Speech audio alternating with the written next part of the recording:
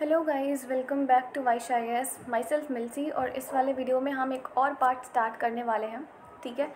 तो इसके पिछले वाले वीडियो में हमने देखा कि जो पार्टिसिपेंट्स थे, ठीक है? उन्होंने मूवमेंट को कैसे देखा? कौन से मूवमेंट की बात हो रही है? C D M civil disobedience movement मैंने बताया था जब इसको रीलॉन्च करा गया, तब लोगों के क्या रिएक्शन थे, क्या लोगों के क्या रिस्पॉन्ड थे, ठीक है? रिएक्ट एंड रिस्पॉन्ड मैं दोनों बता रही हूँ। कि क्या थे तो मैंने पिछले वाले वीडियो में बात करी थी जो पूरर सेक्शन ऑफ़ पीजेंट्री है उनके बारे में और जो लैंडलॉर्ड और जो रिच पीजेंट्स हैं उनके बारे में। तो मैंने आपको ये बताने की कोशिश की थी कि जो जो स्मॉल टेनेंट्स थे, वो उनके अलग डिमांड थे और जो रिच पीजेंट्स थे उनके अलग डिमांड थे। जो रिच पीजेंट्स थे लाइक पटेदार्स थे और कुछ जाट्स थे उत्तर प्रदेश के, ठीक है, उनके अलग अपने डिमांड थे कि रेवेन्यू को कम कर दो, इतना नहीं दे पा रहे हैं। देन अगेन कुछ उनसे भी ज़्यादा पूरर सेक्शन थे पीजेंट्री में। उनका ये डिमांड था कि रेवेन्यू को कम तो करो ही लेकिन जो हमारे जो ड्यूज़ रह गए हैं जो अभी हम अभी तक हमने इनको रेंट नहीं पे किया है उसको रेमिट कर दिया जाए ये इनके डिमांड थे। और बाद में आप देखोगे कि आ, बाद जस्ट अ मिनट बाद में आप देखोगे जो ये पूरा सेक्शन है वो थोड़े तो एक्टिव होंगे पहले और इन आ, क्योंकि जब ये नो रेंट कैंपेन आया था तो इसका सपोर्ट कांग्रेस ने उतने अच्छे तरीके से नहीं किया था ठीक है? जिस वजह से कांग्रेस और जो पूरर पीजेंट्री थी इनके बीच में टसल सा स्टार्ट हो गया तो इन लोगों ने भी मना कर दिया कि नहीं अब हम नहीं कर रहे हैं। उतने अच्छे से लोगों ने भी पार्टिसिपेट नहीं किया। देन अगेन टॉकिंग अबाउट ये क्या नाम है इनका रिच पीजेंट्स जो थे उन्होंने भी आ, मना कर दिया उतने अच्छे से पार्टिस उतने अच्छे से क्या उन्होंने रिफ्यूज़ ही कर दिया। उन्होंने मना करा कि नहीं अब हम नहीं करें दोबारा पार्टिसिपेट क्योंकि क्या हुआ था मैंने आपको पिछले वाले वीडियो में बताया था कि जब सिविल डिसऑबिडेंस मूवमेंट को विड्रॉ करा गया तो इन लोगों का जो डिमांड था कि हमारा जो रेवेन्यू है उसको कम कर दो, वो कम अभी हुआ नहीं था। उसके पहले ही सिविल डिसऑबिडेंस मूवमेंट को गांधी जी ने विड्रॉ कर लिया था, ठीक है? अभी नेक्स्ट वाले टॉपिक पे हम बात करते हैं। जो बिज़नेस क्लास थी, उन्होंने इसको कैसे रिएक्ट किया, उन्होंने कैसे रिस्पॉन्ड किया, ठीक है? वहाँ पे सिविल डिसऑबिडेंस मूवमेंट कैसे काम किया? तो फ़र्स्ट वर्ल्ड वॉर के टाइम पे, एक second during the first world war not getting the first world war during the first world war जो इंडियन मर्चेंट्स थे और जो इंडस्ट्रियलिस्ट थे, उनको बहुत ज़्यादा प्रॉफिट हुआ और वो बहुत ज़्यादा पावरफुल हो गए थे। क्यों? क्योंकि फ़र्स्ट वर्ल्ड वॉर तो एक टाइम उस टाइम पे चल ही रहा था एक साइड में, ठीक है? आप दूसरे तरफ़, क्योंकि उधर तो इकोनॉमिक हालत वैसे ही ख़राब है और जो भी चीज़ें होती थी, जो भी इम्पोर्ट एक्सपोर्ट होता था, वो यहीं से होता था तो ऑब्वियसली बात है, इधर प्रॉफिट आएगा ही, ठीक है? अब फ्री फोकट का तो नहीं लेके जाएँगे ना, कुछ तो बदले में देंगे ही। तो और वहाँ पे बिल्कुल ही सब कुछ बंद हो रखा था। तो यहाँ पे इस वजह से बहुत ज़्यादा प्रॉफिट हुआ और जो इंडस्ट्रियल क्लास है और जो मर्चेंट हैं, वो एक टाइम पे बहुत पावरफुल हो गए। अब देखो प्रॉब्लम ये हुई, ये लोग अपने पार को, अपने बिज़नेस को एक्सपेंड कर ही रहे थे बट उस टाइम पे जैसे ही फ़र्स्ट वर्ल्ड वॉर ख़त्म हुआ, वैसे ही जो ब्रिटेन है मतलब जो ब्रिटिशर्स हैं दैट टाइम इंडिया में जो थे, उनकी डिस्क्रिमिनेटरी पॉलिसी फिर से चालू हो गई। क्या वो ब्रिटेन जो ब्रिटिशर्स थे, वो अपने आदमियों के लिए फेवर का काम करते थे मतलब उनके फेवर में काम करते थे। जो ब्रिटेन से जो लोग हैं, जो ब्रिटेन के इंडस्ट्रियलिस्ट हैं लंदन वगैरह के तो वो वहाँ पे उनके फेवर में काम करते थे नॉट वहाँ पे इंडिया में ही रह के, उन लोग के फेवर में काम करते थे। हमारे इंडियन मर्चेंट के बारे में वो लोग नहीं सोचते इससे इससे इन लोगों को प्रॉब्लम हुई। और इनकी डिमांड क्या थी? इनको प्रोटेक्शन चाहिए था। क्यों? किसके अगेंस्ट में? जो फॉरेन गुड्स का इंपोर्ट हो रहा था, उसके अगेंस्ट में। क्योंकि ये लोग जिस दाम का बनाते थे ना, उस दाम का इन लोग का इंपोर्ट एक्सपोर्ट नहीं होता था। इन लोगों को बहुत लॉस होने लगा था। पहली डिमांड तो ये थी। दूसरी डिमांड जो जो फॉरेन एक्सचेंज रेशियो था, उसको कम करने की इन लोगों ने डिमांड करी कि अब वो वहाँ से जो सामान आ रहा है, वो यहाँ पे आप महँगा बेच रहे हो। बट जो यहाँ से जा रहा है, वहाँ पे इतना सस्ता क्यों बेच रहे हो? और जो रेशियो था रुपी स्टर्लिंग का स्टर्लिंग एक्चुअली वहाँ की करेंसी है एट दैट टाइम ठीक है? तो इन लोग इन लोगों को इससे प्रॉब्लम थी। फिर बाद में आप देखोगे कि कुछ लोग जिन जिन लोगों को बिज़नेस में इंटरेस्ट था, उन लोगों ने अपने ग्रुप को ऑर्गेनाइज़ करा और उन लोगों ने कुछ कुछ एसोसिएशंस बनाए, जिसमें से एक है Indian industrial and commercial congress मैं हाईलाइट कर देती हूँ Indian industrial and commercial congress 1920 में और federation of the Indian chamber of commerce and industries F I C C I nineteen में इन लोगों ने सेटअप करा, जिसके लीडर कौन थे? पुरुषोत्तम दास, ठाकुर दास और जी डी बिरला। ठीक है? जी डी बिरला आप करेक्ट कर लेना इसको। उसके बाद में क्या हुआ? जो इंडस्ट्रियलिस्ट जो इंडस्ट्रियलिस्ट थे, उन्होंने कॉलोनियल जो कंट्रोल कर रखा था ना लाइक ब्रिटिशर्स ने इंडियन इंडिया की इकोनॉमी पे जो कंट्रोल कर रखा था, उस पर इन लोगों ने अटैक कर दिया। अटैक इन द सेंस अपनी अपने रिएक्शन से, अपनी पॉलिसी से, अपने हरकतों की वजह से उन्होंने अटैक करा। ऐसा नहीं था कि जाके डंडा लेके खड़े होंगे कि आओ हम तुमको मारते हैं, ऐसा कुछ भी नहीं था। ठीक है? मीन्स उन्होंने सिविल डिसऑबिडेंस मूवमेंट में सपोर्ट करा, जिस वजह से ये ब्रिटिशर्स को पसंद नहीं आया। क्योंकि फ़र्स्ट वर्ल्ड वॉर के टाइम पे जो भी था इन लोग की वजह से भी था। ऐसा नहीं था कि ये लोग कुछ कर ही नहीं रहे थे, क्योंकि अगर इंडस्ट्रीज़ ही बंद हो जाती तो जो उन लोग की डिमांड है फ़र्स्ट वर्ल्ड वॉर के टाइम पे, वो वो कभी कंप्लीट नहीं हो पाती। आप पीजेंट आर्टिसन से कितना डिमांड करोगे, आप पीजेंट आर्टिसन को ये थोड़ी ना बोलोगे कि लेदर के शूज़ बना दो, वो तो नहीं कर पाएँगे ना ऐसा, ये तो इंडस्ट्रियल वर्कर्स ही कर पाएँगे, ठीक है? आगे बात करते हैं, जब इन लोगों ने सिविल डिसऑबिडेंस मूवमेंट लॉन्च कर दिया, जब सॉरी उसमें ये लोग सपोर्ट करे, जब फ़र्स्ट टाइम पे लॉन्च हुआ था तब, इन्होंने फाइनेंशियल असिस्टेंस भी थी, ठीक है? मतलब सिविल डिसऑबिडेंस मूवमेंट में इन्होंने कुछ कंट्रीब्यूशन भी दिया। उसके बाद में जो इम्पोर्टेड गुड्स हुआ करते थे, उसको इन्होंने मना कर दिया। अब इन्हों इन्होंने इन लोगों ने बोला कि ना ही हम खरीदेंगे, ना ही हम बेचेंगे। बहुत सारे बिजनेसमैन ऐसे थे जो मतलब देखने आए थे जब कॉलोनियल रिस्ट्रिक्शन लगे थे बिज़नेस पे। वो लोगों को भी लगा कि हाँ हो सकता है इस वजह से हमें थोड़ा सा कंसेशन मिल जाए फिर थोड़ा सा हमें कुछ हमारी डिमांड एटलीस्ट कंप्लीट हो जाए तो बहुत सारे लोगों ने तो इस वजह से भी ज्वाइन करा था और बहुत सारे लोगों ने स्वराज को ऐसे ही देखा था, जो इंडस्ट्रियल क्लासेस मैंने बताया था ना कि स्वराज का मतलब सबके लिए अलग अलग हुआ करता था, ठीक है? तो जो इंडस्ट्रियल क्लास थी, उनके लिए स्वराज का मतलब यही था कि हमें प्रोटेक्शन चाहिए against the import of foreign goods and all अभी मैंने जो भी, अभी डिमांड मैंने बताया वो। बट उनका ये भी ड्रीम ड्रीम ही रह गया, क्योंकि आप देखोगे, जब राउंड टेबल कॉन्फ्रेंस फेल हो गया तो जो बिज़नेस ग्रुप्स थे ना, वो कम्प्लीटली उनमें जो जो हैप्पीनेस वाली पहले फीलिंग थी, अभी वो डिस्ट्रॉय होने लगी थी और बाद में जब इनको कहा गया कि जब रीलॉन्च करा गया सिविल डिसऑबिडेंस मूवमेंट को तो इन लोगों ने भी उतने अच्छे से पार्टिसिपेट नहीं किया। क्यों? इसके एक और रीज़न है। कांग्रेस के जो यंगर मेंबर्स थे, उनमें सोशलिज्म वाली आइडियोलॉजी बहुत तेज़ी से आगे बढ़ रही थी। तो इन लोग को ये लगा कि अगर ये सोशलिज्म वाली आइडियोलॉजी बढ़ जाएगी तो क्या होगा? हमारा तो लॉस ही लॉस हो जाएगा। भाई, अब सोशलिज्म मीन्स व्हाट जो भी है सोसाइटी का है। आप अकेले प्राइवेट इंडिविजुअल आप कुछ नहीं कर सकते हो, ठीक है? आपको सोसाइटी में सब कुछ यू नो डिस्ट्रीब्यूट करके चलना है। तो इन लोग को ये लगा कि अगर ये सोशलिज्म वाली आइडियोलॉजी है अगर ये आगे बढ़ी तो हमारी तो इंडस्ट्रीज़ सब बर्बाद हो जाएँगी ना। हो सकता है कोई प्राइवेट ओनर हो अपने इंडस्ट्री का तो वो क्यों बांटने जाएगा अपनी इंडस्ट्री के जितने भी आ, उसके जो प्रॉफिट हो रहा है वो दूसरों में क्यों बांटा जाएगा? ऑब्वियस ही बात है अगर मैं हूँ मेरी यहाँ पे कोई फैक्ट्री है अब कोई आके बोल दे कि तुम्हें फैक्ट्री का जितना प्रॉफिट है सब में बांटना मैं क्यों बांटूँगी? ठीक है? तो कहीं ना कहीं वो लोग भी ठीक थे क्योंकि उन लोगों ने भी स्ट्रगल करके वो फैक्ट्री सेटअप करा था और बाद में अगर सोशलिज्म वाली आइडियोलॉजी अगर प्रमोट हो भी रही थी और हो जाती तो इनका बहुत ज़्यादा लॉस हो जाता। एक तो ये भी रीज़न था। एंड सेकेंड रीज़न वॉज़ जो मिलिटेंट एक्टिविटीज़ थी एट दैट टाइम वो बहुत ज़्यादा होने लगे। गांधी जी ने कहा था कि जो भी चीज़ होगी वो नॉन वायलेंस पे बेस्ड होगी बट यहाँ पे वो नॉन वायलेंस वायलेंस में कन्वर्ट हो गया। एंड देन मिलिटेंट एक्टिविटीज़ हो गई और लोग डर गए थे कि अगर ये चीज़ें और ज़्यादा हुई तो हमारा बिज़नेस कहीं डिस्टर्ब ना हो जाए। इस वजह से इन लोगों ने सेकेंड टाइम जब सिविल डिसऑबिडेंस मूवमेंट लॉन्च हुआ तो इन लोगों ने मना कर दिया। जो इंडस्ट्रियल वर्किंग क्लास थी, उन्होंने पार्टिसिपेट नहीं करा सिविल डिसऑबिडेंस मूवमेंट में बहुत लार्ज नंबर में एक्सेप्ट नागपुर वाला जो रीजन था, ये ये वाला एक्सेप्ट नहीं है, ठीक है? ये एक्सेप्ट वो वाला एक्सेप्ट है E X C E P T Nagpur वाले रीजन को छोड़ करके बाकी जितने भी रीजन थे उस उस सारे रीजन में से किसी ने भी पार्टिसिपेट नहीं किया था इंडस्ट्रियल वर्किंग क्लास में से, ठीक है? जैसे ही इंडस्ट्रियलिस्ट कांग्रेस के और ज़्यादा नज़दीक आए तो जो वर्कर्स थे ना दैट स्टेर लूफ ठीक है? बट अब उसके बाद देखोगे, उसके बाद भी कुछ वर्कर्स थे जो सिविल डिसऑबिडेंस मूवमेंट में पार्टिसिपेट कर रहे थे। कुछ गांधीन प्रोग्राम थे जिनकी आइडियाज़ को वो लोग अडॉप्ट कर रहे थे। जैसे कि गांधी जी ने कहा था कि फॉरेन गुड्स को बॉयकॉट कर दो तो इन लोगों ने भी बॉयकॉट किया खास करके नागपुर रीजन वाले जो लोग हैं, ठीक है? उन्हों स्पेशली उन्होंने गांधीन आइडियोलॉजी को फॉलो करा, गांधीन प्रोग्राम को फॉलो करा, जैसे कि फॉरेन गुड्स को बॉयकॉट करना लो वेजेस के अगेंस्ट में आवाज़ उठाना अपनी पुअर वर्किंग कंडीशन के अगेंस्ट में भी अपनी आवाज़ उठाना स्ट्राइक्स वगैरह होने लगी, जो रेलवे वर्कर्स हैं, वो 1930 में और जो डॉक वर्कर्स हैं, वो 1932 में ठीक है, अपनी वो स्ट्राइक पे चले गए। Then again nineteen hundred thirty में आप देखोगे थाउज़ेंड ऑफ़ वर्कर्स ऐसे भी थे छोटा नागपुर टीन माइंस में, जिन्होंने गांधी जी के कैप पहन रखे थे। ऐसा नहीं था कि गांधी जी ने कोई कैप लॉन्च कर रखी है बट उन लोगों ने गांधीन कैप पहन रखे थे ये दिखाने के लिए कि हाँ देखो, हम हैं इस प्रोटेस्ट में शामिल हैं, आप आप हमारा कुछ नहीं कर सकते हो, ठीक है?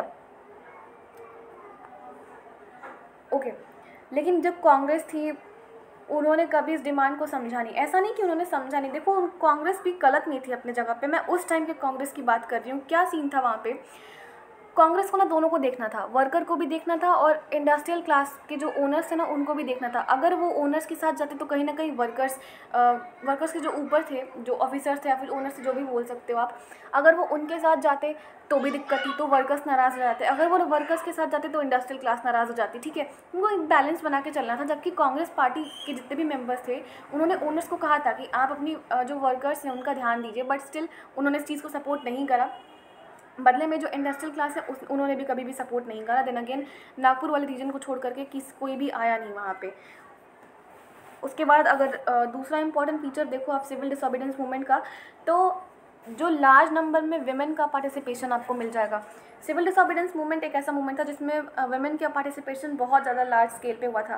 क्योंकि जब गांधी जी, जब अपना सॉल्ट मार्च कर रहे थे, उस टाइम पे बहुत सारी सी वेमेन अपने घर से बाहर आई थी गांधी जी को सुनने के लिए। और सारी सारी की सारी वेमेंस जितने भी जिन्होंने भी पार्टिसिपेट करा था, उन्होंने प्रोटेस्ट में भी पार्टिसिपेट करा था। ऐसा नहीं था कि बस चल के जाना है, साबरमती से डांडी आश्रम डांडी तक जाना है, साबरमती आश्रम से, ऐसा नहीं था। उन्होंने प्रॉपर प्रोटेस्ट मार्च में भी उन्होंने पार्टिसिपेट करा था, उन्होंने सॉल्ट वगैरह बनाया, ठीक है? फॉरन क्लोथ को बॉयकॉट कर दिया लिक्वर शॉप को पिकेट करे गए। मैंने आपको बताया था पिकेट का मतलब क्या होता है? काइंड ऑफ़ आप कह सकते हो डिमॉन्स्ट्रेशन ही होता है उसका भी मतलब। बहुत सारी वुमेंस को भी जेल जाना पड़ा। अर्बन एरियाज़ में ये जो वुमेंस थी, वो हाई क्लास से आती थी। ठीक है हाई कास्ट फैमिली से थी। ऐसा नहीं था कि कोई अर्बन एरिया है तो हम हाई कास्ट से हैं, हम नहीं जाएँगे। फिर ऐसा बिल्कुल नहीं था। हाई कास्ट की फैमिली हो या फिर लो कास्ट की फैमिली हो, दोनों की दोनों जगह से लोग आते थे। मतलब वेमेंस आती थी रिच पीजेंट हाउस होल्ड से भी लोग वो वेमेंस आती थी। ठीक है, गांधी जी, ये एक कॉल करने पे सारे के सारे जितने भी वेमेंस समझ लिया था उन्होंने कि नेशन को सर्व करना ही हमारा ड्यूटी है। बट गांधी जी का ना यहाँ पे आप थोड़ा सा ओल्ड ख्याल कह सकते हो कि मतलब ऐसा नहीं था कि गांधी जी चाहते थे कि वेमेंस जो हैं वो घर से बाहर ही ना निकले, वो कोई काम ही ना करे। बट हाँ उस टाइम का सीन भी थोड़ा सा अलग था क्योंकि उस टाइम पे ना एक भी वेमेंस थी भी नहीं, किसी भी उसमें, हमारे मूवमेंट में। थी, जो होम रूल लीग मूवमेंट था उसमें एनी बेसेंट जी थी ठीक है, सरोजनी नायडू जी थी, और भी जगह पे कुछ कुछ वुमेंस थी बट गांधी जी का ये नहीं कहना, उन्होंने ये नहीं कहा कि आप घर से बाहर निकलो ही मत। उन्होंने ये कहा कि ठीक है, आप ये भी कर रहे हो बट एटलीस्ट आप एक बीवी भी हो, आप एक माँ भी हो तो आप घर के भी काम अच्छे से करो। उन्होंने ऐसा बिल्कुल नहीं कहा कि हाँ आप बाहर मत निकलो। मतलब उन्होंने उन्होंने इस पर कुछ कहा ही नहीं, ठीक है? बुक में ऐसा कुछ भी मेंशन नहीं कर रखा है बट उसके बाद भी आप देखोगे, जो वेमेन थी, वो नेशन को सर्व करना ही अपनी प्राइमरी ड्यूटी मानने लगी थी। इस इस वजह से गांधी जी ने कहा था कि ठीक है, चलो कोई बात नहीं है। आप ये तो कर रही हो बट आपका जो मेन काम है, वो आप एक, आप किसी की वाइफ हो, आप किसी की मदर हो, आप किसी की सिस्टर हो तो आपका वो भी रिस्पॉन्सिबिलिटी है आपकी, आप उसको भी बखूबी निभाओ ओके इतना सब करने के बाद भी जो वेमेन का पोजीशन था, वो नॉर्मली रहा, ऐसा नहीं था कि वो लोग जो सोच रही थी, वो हो गया। उसके बाद ही गांधी जी ने ये वाला अपना स्टेटमेंट दिया था। अभी जैसे मैंने पिछले, अभी थोड़ी देर पहले आपको बताया, दस बीस सेकेंड पहले। देन अगेन उसके बहुत लॉन्ग टाइम के बाद जो कांग्रेस है, उन्होंने कांग्रेस पार्टी ने अलाउ किया वेमेन को कि ठीक है, आप अपनी अथॉरिटी को, अब मतलब आप अपनी कोई पोजीशन होल्ड कर सकती हो विद इन द ऑर्गेनाइजेशन तो फिर वहाँ से जो वेमेंस थी, उनको ऑर्गेनाइजेशन में लेना स्टार्ट किया गया। बात करते हैं सिविल डिसऑबिडेंस मूवमेंट की लिमिट्स क्या क्या थी। देखो, जो स्वराज था ना, उस, जो स्वराज का कॉन्सेप्ट था, ऐसा नहीं था कि वो सारे सोशल ग्रुप्स के लिए सेम ही हो, ठीक है? या फिर सारे सोशल ग्रुप्स कुछ ना कुछ सोच ही रहे हों कि हाँ अब अब तो कुछ हमारे साथ अच्छा होगा। एक ऐसा ही ग्रुप था जिनको हम अनटचेबल्स के नाम से भी जानते हैं ठीक है? यस yes, जिनको हम अनटचेबल्स के नाम से जानते हैं एक ऐसा भी ग्रुप था। गांधी जी ने एट दैट टाइम बोल दिया था कि अगर आपको कुछ भी करना है प्रोग्रेस करना है तो आप पहले ये जो अनटचेबिलिटी है उसको आपको ख़त्म करना पड़ेगा। मतलब डायरेक्टली तो ऐसा नहीं बोला था बट हाँ क्योंकि जो अनटचेबल्स हैं जिनको आज ऑब्वियस सी बात है आज भी लोग बोलते ही हैं तो मुझे बोलने में कोई वो नहीं है मैं तो इधर पढ़ाने आई हूँ। सो so, जो S C S T category के लोग होते हैं आज भी मैं कई जगह पे देखती हूँ जो स्पेशली जो विलेज वाला एरिया होता है वहाँ पे ये सारी चीज़ें बहुत ज़्यादा कॉमन हो जाती हैं ठीक है? तो एक ऐसा ग्रुप था अनटचेबल्स का अराउंड 1930 के आसपास जो अपने आप को दलित या फिर ऑपरेस्ट क्लास के लोग मानते थे। बहुत लंबे समय तक कांग्रेस ने भी इग्नोर करा था इन दलित्स को। ठीक है? तो इन लोगों को लगा था कि कहीं जो ये हाई कास्ट हिंदूज़ हैं, जो ये कंजर्वेटिव हाई कास्ट हिंदूज़ हैं, जो ये सनातनीज़ हैं, वो कहीं हमारे हमारे राइट्स ना छीन लें या फिर कोई ऐसा लॉ ना पास हो जाए जिसकी वजह से हमारा इस कंट्री में रहना मुश्किल हो जाए। बट आप देखोगे महात्मा गांधी ने ये डिक्लेयर करा, महात्मा गांधी जी ने ये डिक्लेयर करा कि जो स्वराज कभी भी नहीं आ सकता है अगर आपने अनटचेबिलिटी को एलिमिनेट नहीं किया हमारी सोसाइटी से तब। और उन्होंने जो अनटचेबल्स थे, गांधी जी ने अनटचेबल्स को क्या बुलाया? हरिजन। आप ये क्लास एट से पढ़ते आ रहे हो तो आपको पता होना चाहिए कि अनटचेबल्स को गांधी जी ने ही हरिजन बुलाया था या फिर उन्होंने कहा था कि यार ये तो चिल्ड्रन ऑफ़ गॉड मतलब हरिजन और द चिल्ड्रन ऑफ़ गॉड ये स्टेटमेंट दिया था गांधी जी ने। ठीक है? फिर इन्होंने सत्याग्रह को ऑर्गेनाइज़ करवाया। उनके लिए टेंपल एंट्री मैंने आपको पहले बता रखा था लाइक एंशंट हिस्ट्री जब हम करवा रहे थे उसमें भी हमने आपको बताया था जो शूद्र क्लास के लोग थे उनके साथ जो डिस्क्रिमिनेशन हुआ था वही यहाँ पे भी हो रहा था। बेसिकली वही लोग थे ये लोग उनकी वहाँ से जर्नी स्टार्ट होते होते होते होते यहाँ तक पहुँच गई थी।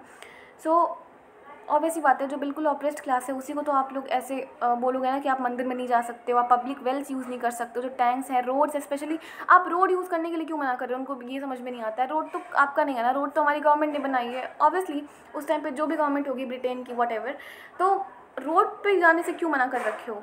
ये दिक्कत हो गई थी। देन स्कूल्स में भी जाने के लिए मना कर रखा था। मना क्या कर रखा था? अलाउड नहीं था उनको। ये पब्लिक प्लेस है, आप यहाँ नहीं जा सकते हो।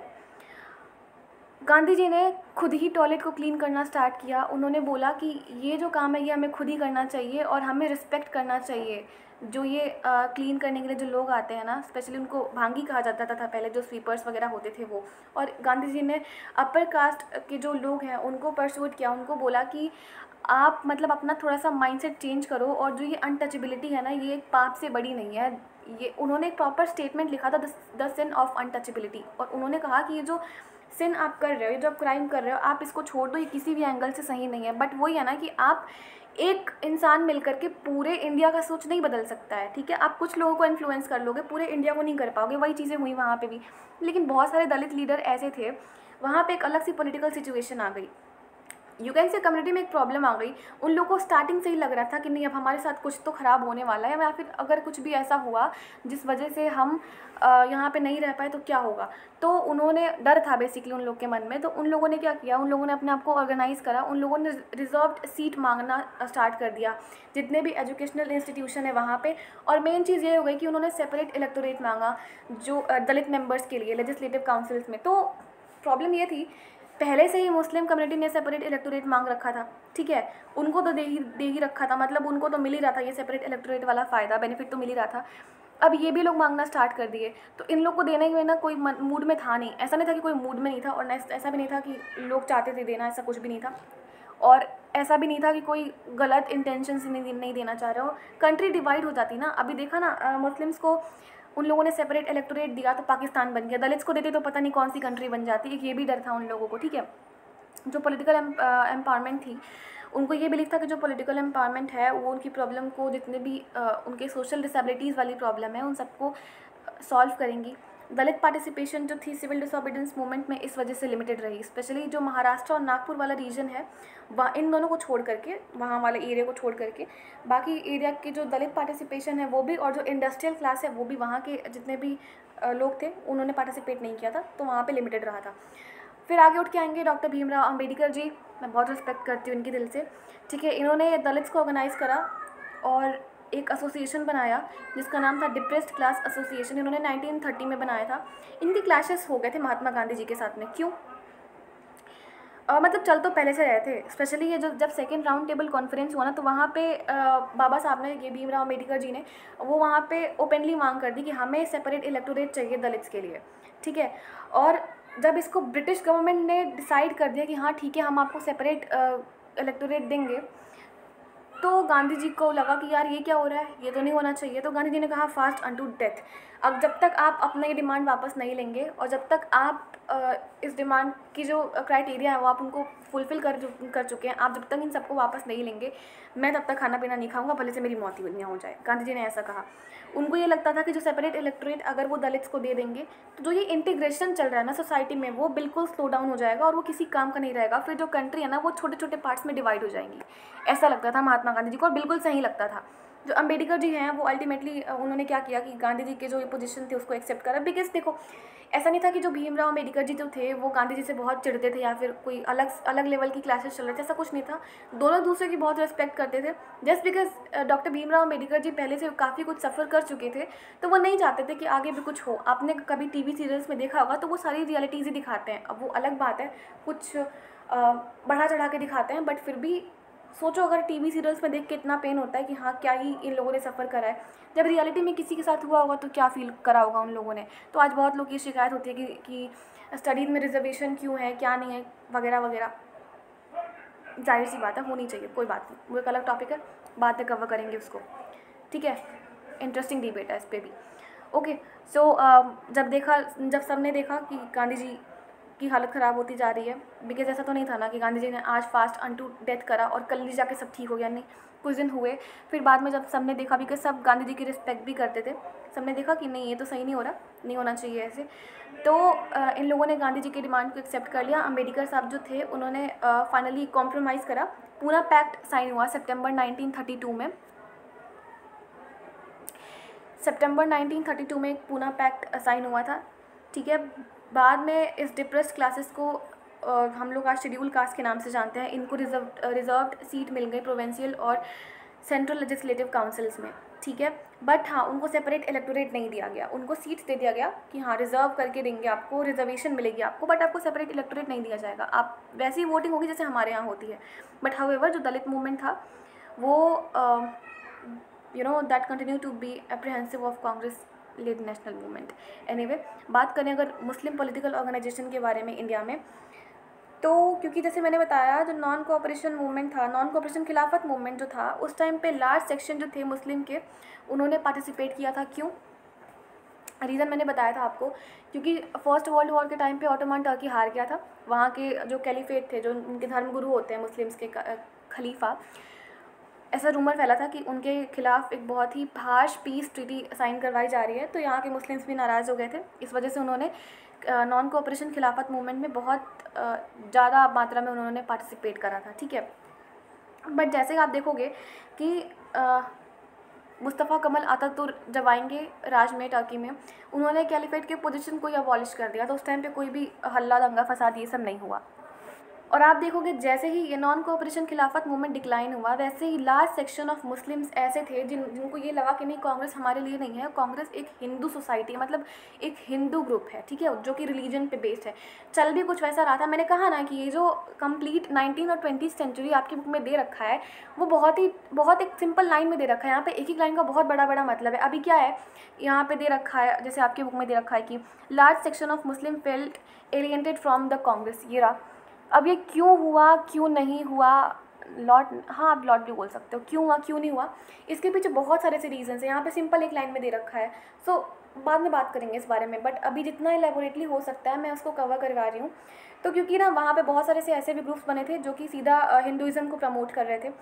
लाइक like, तिलक साहब ने जब उन्होंने स्टार्ट करा था मूवमेंट वगैरह तो उन्होंने गणपति जी की पूजा करना स्टार्ट करी, ठीक है? शिव जी की पूजा करना स्टार्ट करी।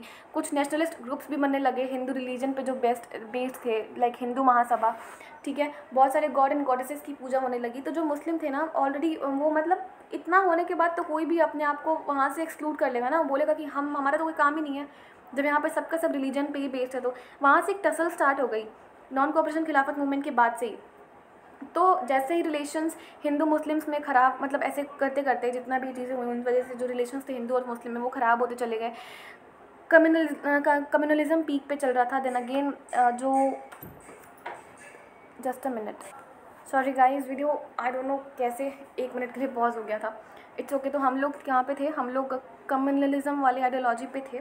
तो ये पीक पे चल रही थी और बाद में आप देखोगे कि हिंदू और मुस्लिम के बीच में कम्युनल क्लैशेस होने लगे थे राइट्स वगैरह होने लगे थे हर जगह पे।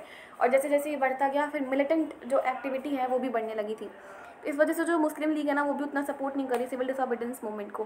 कांग्रेस और मुस्लिम लीग ने बहुत सारे से एफर्ट एफर्ट्स लगाए कि चलो हम नेगोशिएशन कर लेते हैं बट उसका कोई फ़ायदा हुआ नहीं, ठीक है? जो इम्पोर्टेंट डिफरेंसेस थे एक्चुअली वो प्रॉब्लम ये थी ना कि उन लोग को अलग ही कंट्री चाहिए थी। वो लोग पाकिस्तान के डिमांड में थे। ठीक है लाइक मोहम्मद अली, जिन्ना वगैरह जो है, सबसे बड़ा रोल तो इन्हीं का रहा है। मैं ये नहीं बोलूँगी कि अकेले इन्हीं का रोल रहा है बट हाँ ये मेजर रोल प्ले करे हैं कंट्री को डिवाइड करने में। ओके क्योंकि इन्होंने ये डिमांड करी थी फॉर सेपरेट इलेक्टोरेट और मुस्लिम्स को रिज़र्व सीट देने के लिए सेंट्रल असेंबली में। और इन्होंने ये कहा था कि जो जो मुस्लिम डोमिनेटेड प्रोविंसेस हैं, जैसे कि बंगाल है पंजाब है, ठीक है, अभी उस टाइम तो पूरा इंडियन सब कॉन्टिनेंट था ना, अभी तो डिवाइड हो रखा है ना बांग्लादेश अलग है पाकिस्तान अलग है, ठीक है तो उस टाइम पर तो ऐसा कुछ नहीं था डिवीज़न नहीं हुआ था। तो इनका, चलो ठीक है, आप सेपरेट इलेक्टोरेट मांग रहे हो, दलित ने भी मांगा, आप भी मांग रहे हो मतलब वो तो पहले से ही मांग रहे हो आप। दलित से बहुत पहले से मांग रहे हो। वो एक अलग चीज़ है। दे दिया गया इन लोगों को बाद में फिर तो। अलग पाकिस्तानी दे दिया गया। ठीक है? तो इन लोग का एक और डिमांड था कि जो जो मुस्लिम डोमिनेटेड एरियाज़ हैं मतलब प्रोविंसेस हैं लाइक बंगाल है पंजाब है, इन सब में, आप प्रपोर्शन के बेसिस पे हमें वोटिंग राइट्स दो। ठीक है? मतलब वही सेपरेट इलेक्ट्रेट मांग रहे हैं। ज़्यादा इसमें घुसो मत। ट्रिकी चीज़ें समझ में नहीं आएगी। नेगोशिएशन करने की कोशिश करी इन लोगों ने बट उसके बाद भी कोई फ़ायदा नहीं हुआ।